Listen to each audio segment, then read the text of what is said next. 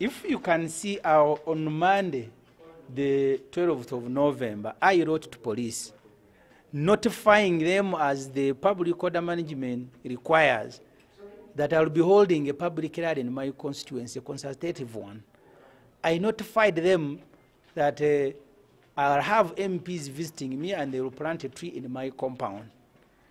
They duly signed this letter, all of them, from the IGP's office up here. One of his aides called Elias Mwesiji signed on behalf. Kampala Metropolitan signed, the RPC, Kampala Eastern, the DPC.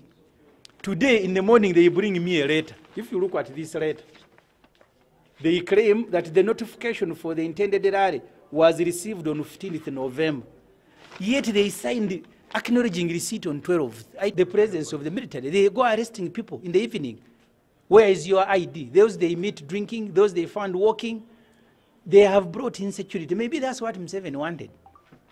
Because the enhancement of security by bringing additional military people was meant to give people more protection. Instead, they have decided on people, harassing them. It's difficult to walk in this area in the evening.